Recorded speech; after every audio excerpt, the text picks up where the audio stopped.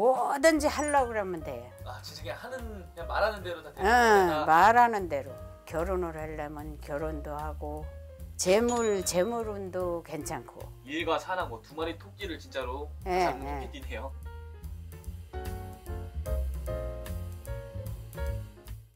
안녕하세요 산신할매당입니다 네 안녕하십니까. 네 이번에는 우리 토끼띠 분들 선생님이 또 2021년에 대박 나는 띠 중 하나를 또 뽑아오셨어요. 예. 그래서 토끼띠 분들의 2021년 신축년 운세가 좀 어떤지. 돈 관리를 잘하고 조심해라고 그래서 막 돈이 그만큼 들어오는 만큼 나갈 수도 있으니까 아, 그러니까 돈이 많이 벌긴 벌어도 아. 그걸 좀 지켜야 된다 이 말씀이시죠? 어, 잘 지켜야 돼 토끼띠는 돈을 잘 지켜라 그러면은 선생님 나이대별로 또 여쭤볼게요. 이제 23살 되는 우리 토끼띠 분들 바쁜 애야 어, 많이 바빠요. 예, 바쁜 만큼 좀 성과도 있을까요? 예. 성과도 할- 있어요? 좋은 일이 있어요 좋은 일이 있어요? 예. 고속도로 같아 음. 운이 어, 나, 어린 나이여도 좀 운세가 예. 되게 많이 좋나 운이 보네요. 좋으니까 뭐든지 하면 돼 좋네요. 예. 그 다음이 이제 35세죠. 35세 네. 되는 우리 토끼띠 분들.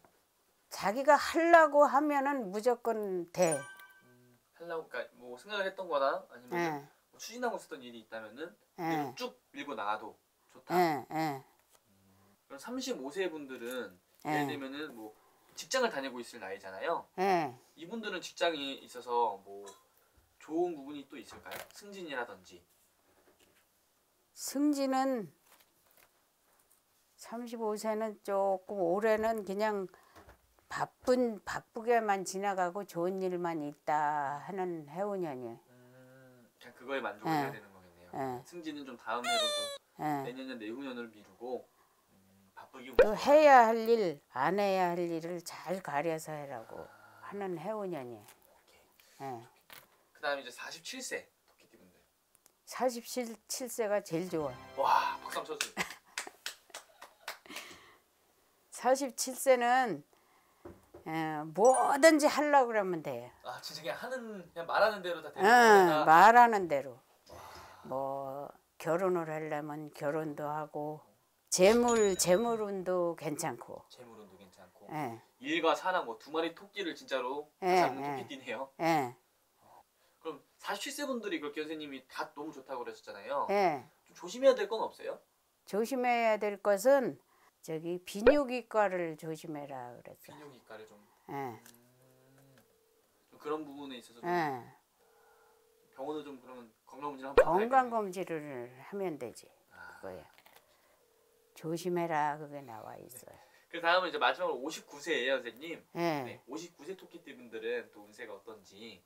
59세도 에, 소 신축년하고 합의가 드니까 신축년에 뭐 할 일을 해야지. 투자를 너무 많이 하지 말고 그냥 음, 정도껏 해- 해가면서 일을 찾으면 돼요. 음, 너무 과하게 예, 하지 마. 예, 과하게는 하지 말고 정도껏 찾으면서 해라. 해야 할 일 따로 있고 안 해야 할 일을 잘 가려서 해라 그거지. 안 해야 할 일을 하게 되면 좀 손해를 볼 수도 있다. 예.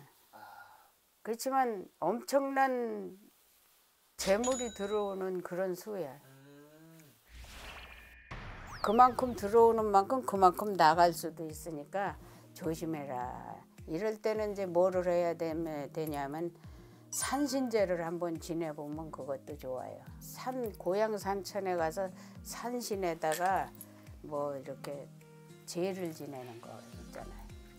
그걸 지내봐라. 아, 그러면 조금 어려운 일이 더 잘 풀리지.